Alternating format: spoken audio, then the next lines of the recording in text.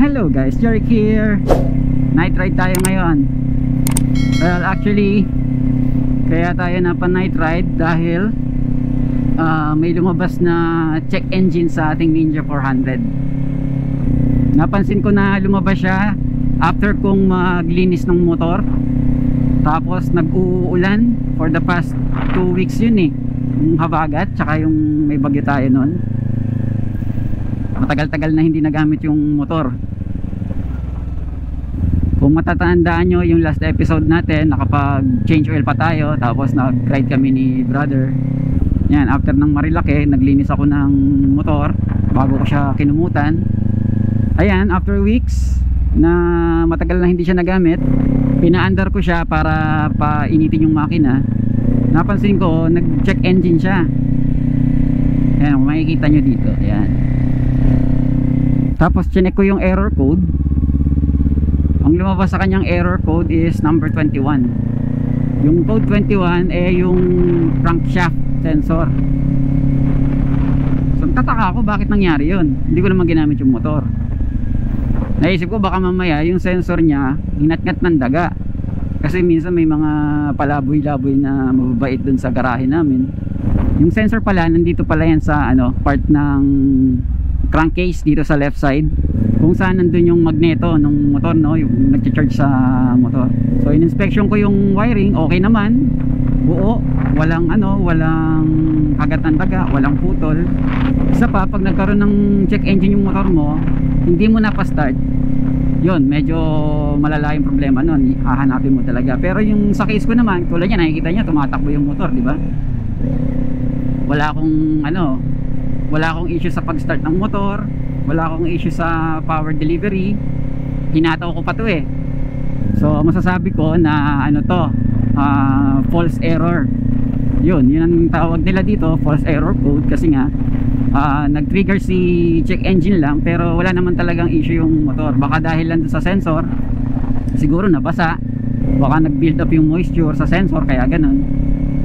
So ngayon itatry nating i-erase yung check engine lamp kasi may nakita ako sa forum ng Kawasaki. Uh, international yun eh. Meron silang ginagawa para ma-erase yung check engine. Kasi mahal din ang pa-erase sa dealership 1.5 din. Bago natin gawin yon try muna natin kung e-effect nga yung method na yon so ito yun guys no? Naka check engine tayo.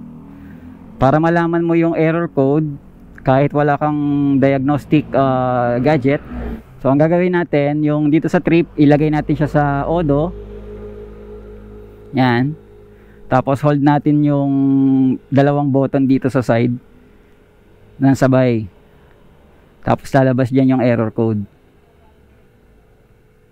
Yan.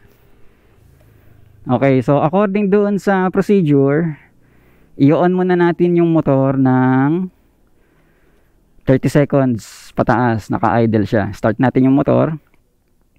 Tapos, i-idle natin siya ng 30 seconds pataas. Then, tatakbo tayo ng above 40 kph. Non-stop yon So, isipin mo, tatakbo ka ng sabihin natin average mo 50 kph for 10 minutes. Medyo mahirap gawin yan sa mga ano, sa mga service road, di ba? Unless mag-expressway ka. Eh kaso malayo ako sa expressway. So ayun, kung ang average mo is 50 kph, kailangan mo ng halos 9 km. After nun, i-idle mo yung motor, tapos off mo, patay mo yung susi, gagawin mo siya 3 times. So medyo matagal-tagal tong method na to, no? Kaya ito, alas dos na madaling araw, nasa labas ako para takbuhin tong kalye na to ng dire-diretso. So let's start na. Start. So 30 seconds.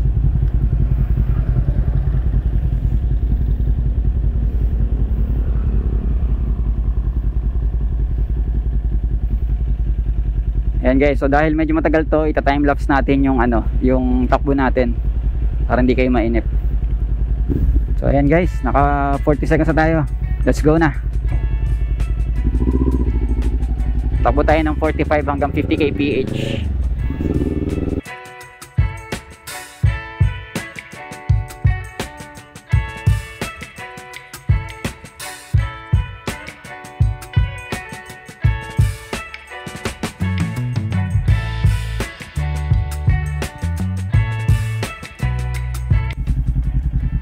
So, lagay natin sa neutral. So, mapansin nyo, naka 12 minutes, 37 seconds na tayo. So, patayin natin siya. Tapos, on ulit. Start natin. Ganun ulit, 30 seconds muna. Ayan, so 36 seconds. Let's go.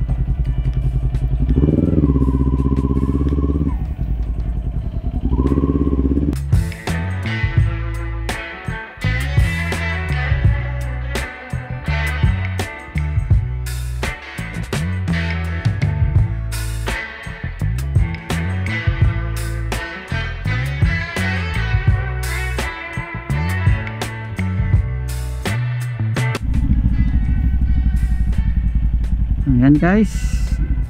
Pangalawang run natin. 12 minutes ulit. Sinobrahan ko na para sigurado. Engine off.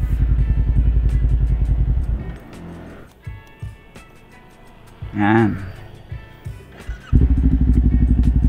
Ayan, napansin nyo no, naka check engine pa rin tayo. Third run.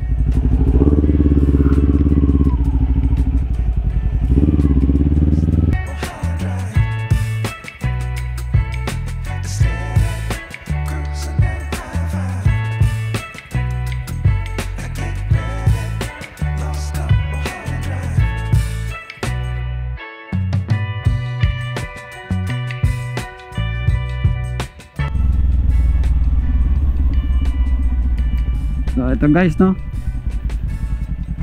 Ito yung end ng third run natin.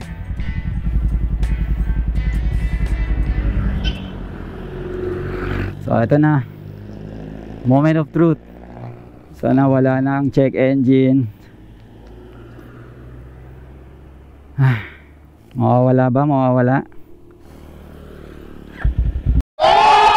Ayun! Wala na guys. Kita nyo ba? oh wala na.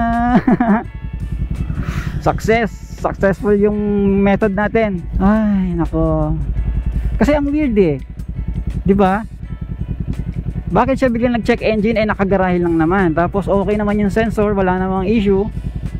Napastart ko naman yung motor. So ayun tama nga yung nakita natin sa internet salamat dun sa nagpost at nakatipid tayo ng 1,500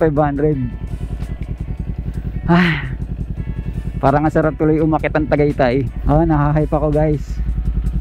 Sarap pala mag ride talaga sa ano madaling araw. Ba't ba ngayon ko lang ginawa to? So ayan pinatay ko na. Try natin. Baka mamaya pinaprank lang tayo eh. Pero sana talaga wala na to. Okay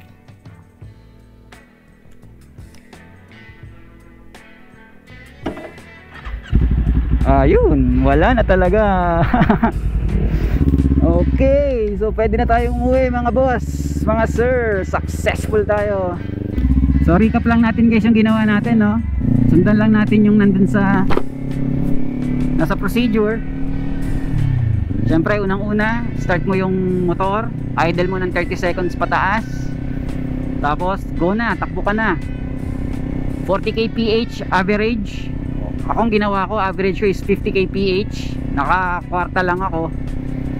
Dire diretso lang yung takbo non stop pero ang pagkakaalam ko kasi kailangan above 5 minutes yung average na tinakbo mo na 50 kph or 40 kph para gumana yung ano yung magic. So lumampas naman tayo ng 10 minutes. Pinalampas ko na para sigurado. Kasi malayo rin yung tinakbo natin sabihin na nating 9 or 10 kilometers yung tinakbo natin. Nakatatlong balik tayo so 30 kilometers na yon take note guys ha? Kailangan 10 minutes pataas. Mula nang in-start mo yung engine mo wag mo siyang papatayin hanggat hindi siya lumalampas ng 10 minutes.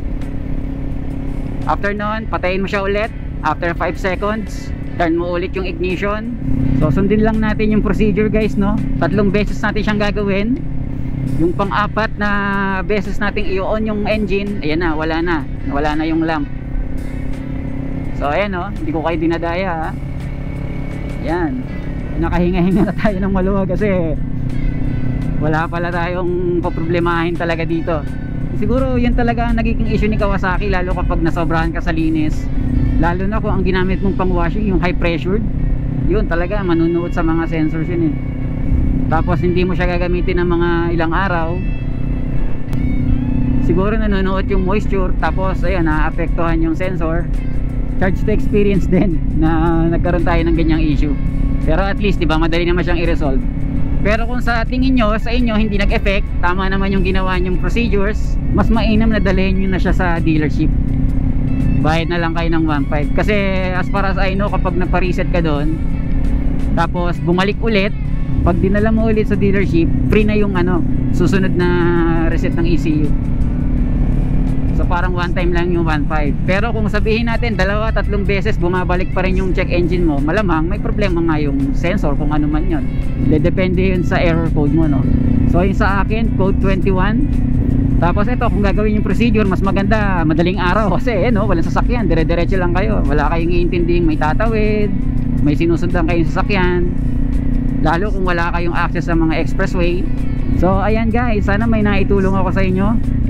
Madali naman pala siyang i-resolve. Sana nagustuhan niyo yung ginawa nating video. Nagpuyat pa ako ha? Para i-share to sa inyo.